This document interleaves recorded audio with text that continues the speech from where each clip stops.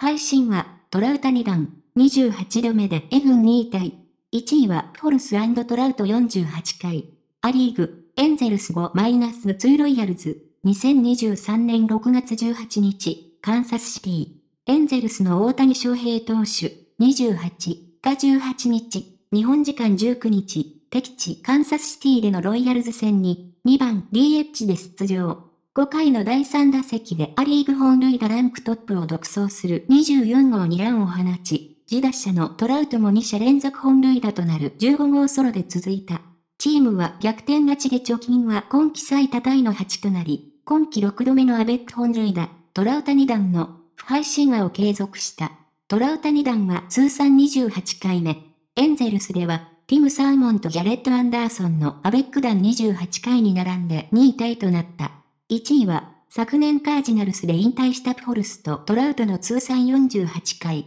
メジャー全体の現役では、ヤンキースのアーロン・ジャッジとジアンカルロ・スタントンがマークしている28回に並んで最多タイとなった。大谷はこの日、2打点を加えて58打点でメジャー単独トップに立ち、本塁打と打点でメジャー2冠、打率300はリーグ8位。2試合連続本塁打は今季5度目で、3日、同4日のアストロズ戦から続けている連続試合安打も、今季自己最長の15、に伸ばした。大谷の一発で打線は完全に勢いづいた。自打者トラウトが左翼席へ、豪快な一発を叩き込む15号、2者連続本塁打。大谷はベンチ前で兜を手に、生還するトラウトを待ち受け、満面の笑顔で丁寧に頭にかぶせ、満面の笑顔で喜び合った。通算28度目、今季6度目で過去5戦5勝と不敗神話を誇るトラウタ2弾となった。大谷翔平の同僚レンドンが3日連続欠場、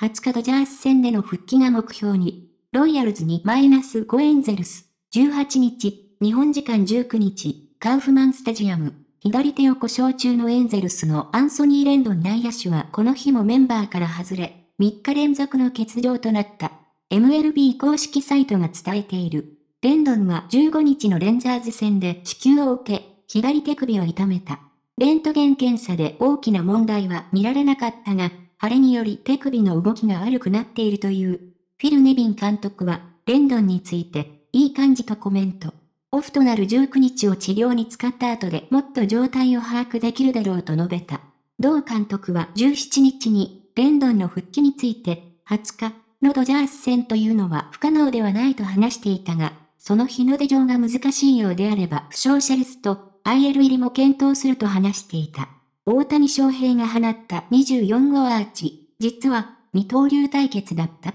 コーダで知られる際、ヤング賞右腕グレインキーから痛烈弾。MLB、ロイヤルズにマイナス5エンゼルス。6月17日、日本時間18日、カンザスシティ。ロイヤルズ戦に、2番 DH で先発出場した大谷翔平投手が5回の第3打席で逆転にランを放ったが、実は対戦相手のグレインキーもメジャーでは打撃の良い投手として知られている。サイ・ヤング賞1度、最優秀防御率2度、通算224勝を誇るメジャーを代表するベテラン右腕グレインキーだが、通算打撃成績は打率、コンマ2イニング、521打数117安打、9本塁打、34打点、9盗塁と投手としては特筆もの。2013年には打率、コンマ328、58打数19安打、2019年にも打率、コンマ271、48打数13安打のハイアベレージを残してシルバースラッガー賞を獲得している。本人もメジャー通算10本塁打を目標にしていると語ったことがあり、世が世なら大谷同様に二刀流選手として活躍していた可能性もある。とはいえ、大谷の打撃成績はグレインキーの遥か上を行く。この日、一発を浴びたグレインキーは投手として打席に立ち、結果を残すことの難しさを誰よりも理解している選手の一人だろう。そんなレジェンドから放ったメジャートップ独走弾。改めて大谷が二刀流選手として投打で結果を残し続けることの偉大さ、異次元ぶりが浮き彫りになる二刀流対決だった。ABEMA スポーツチャンネル